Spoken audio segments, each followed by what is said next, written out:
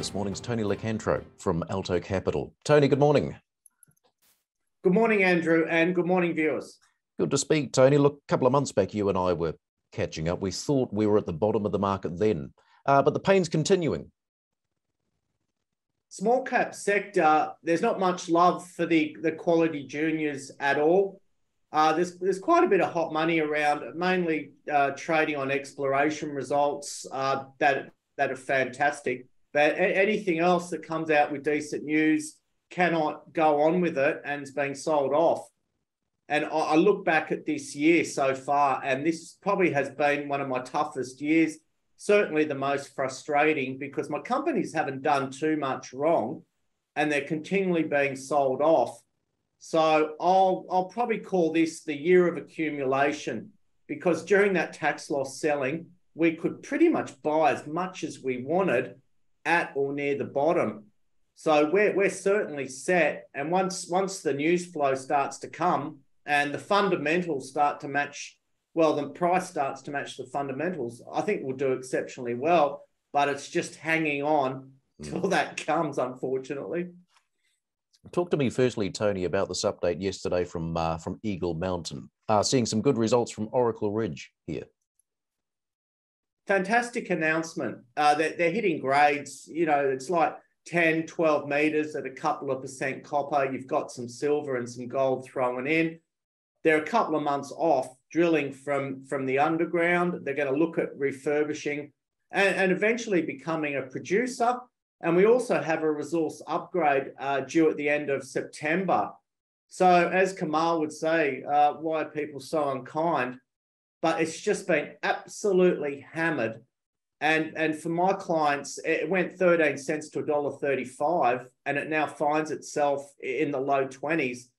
And the market cap around 50 million, I think, is far too low. There has been some funds selling. Combine that with tax loss selling, combine that with a bit of a correction in copper, downtrodden shareholders, everything, everyone starts to think the company's no good and uh, it's just a recipe for uh, share price disaster. But great management, great potential. It'd be fantastic if they can sort out this uh, permit to, to drill Oryx. That's another very exciting target. So certainly one to buy with money you don't need tomorrow. Another company putting out some good results, uh, good gold results, is uh, Aurumin. Another one that's totally unloved. Uh, they've just completed, they just have just done a rights issue at 15 cents with an option, and it finds itself at 12 and a half. If you read through their presentations, they have the right team involved in exploration, uh, acquisition, and development. So, uh, yeah, a lot of the gold juniors aren't finding much love at all, or, at all, and you really have to have a bonanza intersection to get people excited. But sadly, the default position with these stocks that aren't exciting the market is is going lower, and that's the way it has been.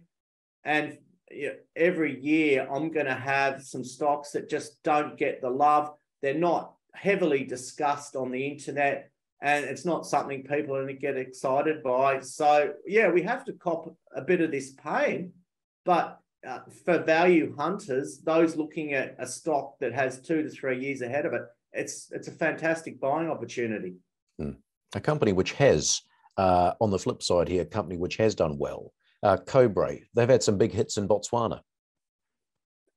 What what a turnaround! Uh, this was a high quality IPO that in June was two point one cents.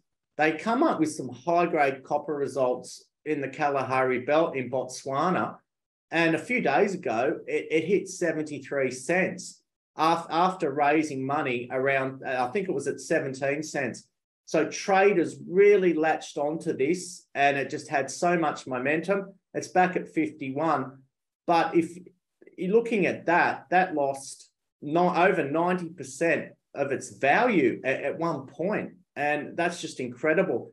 So there is hope for, for those stuck in these quality stocks that that they believe could turn around. So it doesn't matter what a stock looks like until they have the discovery, Andrew. And I've seen that throughout my career going way back to Prominent Hill. So if you've got if you've got the results, the market will re-rate you, and you're not jinxed. We haven't spoken about Demetallica before. They're a new one, uh, looking quite interesting. That this was the asset that came out of Minotaur that obviously was taken out by Andromeda. So this is the uh, the copper resource in the Cloncurry region. They they are looking to upgrade the resource. The company looks cheap based on what they have in the ground so far.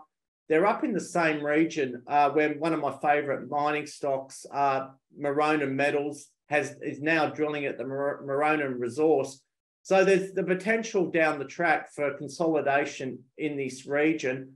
And I think it's it's one of those more solid companies that does have some resource appeal and one day maybe some corporate appeal.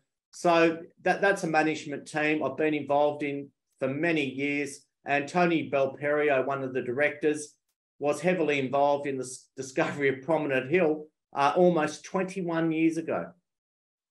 Let's let's put the focus on a couple of your uh, favorite biotechs. Uh, Nyrada, what's going on here?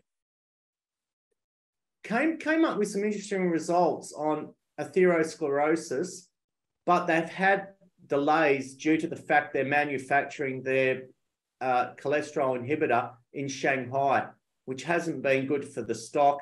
They once you announce these d- delays, that investors get nervous. The stock's been sold down, hit a terribly disappointing 13 and a half yesterday.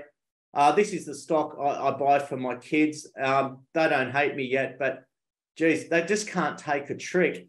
But you have to, people have to remember why they bought the stock in, in the first place. They're watching other people make money on on stocks that are running. So you just really have to be patient uh, with Nyrada, but it's still got that high risk reward profile. And some positive news out of proteomics here. They've signed this uh, this letter of intent. Tell us a bit about it. This is huge news for proteomics. Uh, they've signed a letter of intent with Sonic Healthcare in the US to distribute and license the ProMarker D test for diabetic kidney disease. So this blood test can predict prior to it happening a number of years out. So this should see it heavily promoted in the in the US. Doctors are saying that, that they'd use this test. There is huge revenue potential. So that that's the news we've been waiting for. They've just completed an $8 million placement at 85 cents. So th- there might be a bit of a brick wall there for a while. But this is a biotech company, I believe, that now has a platform from, for some amazing growth, but you've got to be patient. So it's not, once it starts to run, it'll run well.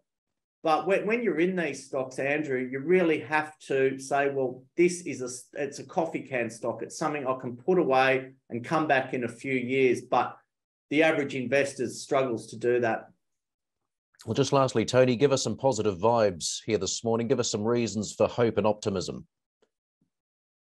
If you're in the right, if you're in the right company, uh, I wouldn't get too concerned with the intraday share price movements. I, I know it hurts. It hurts your spreadsheet. Uh, yeah, we've we've had a really frustrating and challenging year, but as you can see, these stocks can turn around. The there is a lot of index risk, unfortunately, with the US markets. I believe are still overvalued. We've got other markets correcting, so it, it is risky times, but you can't wait until markets correct because they can always correct from undervalued levels as well. So I just think you need you need to be patient. And sometimes the best trading tool is your backside and, and doing nothing. Good to speak, Tony. Thanks very much. Always a pleasure, Andrew.